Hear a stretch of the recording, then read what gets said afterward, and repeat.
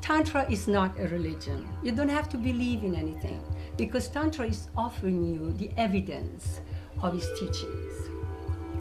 How to feel, how to experience colors, music, how to touch, how to be present with another person and with yourself.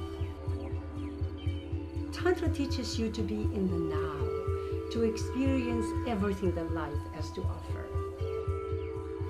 You can start on the tantric journey by being present to how everything tastes the food, the music, the colors, the sounds, uh, everything you feel from the heart, how to connect with another human being. Um, all of that makes you more alive and vibrant.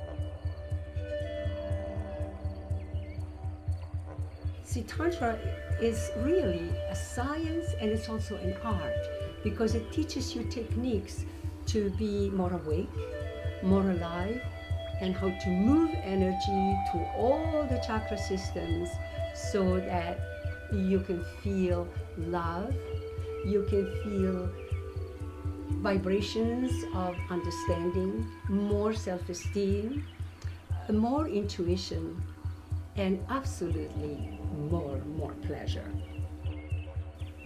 There is more to Tantra. And if you want to know more, please visit my site, onetantra.com. Welcome.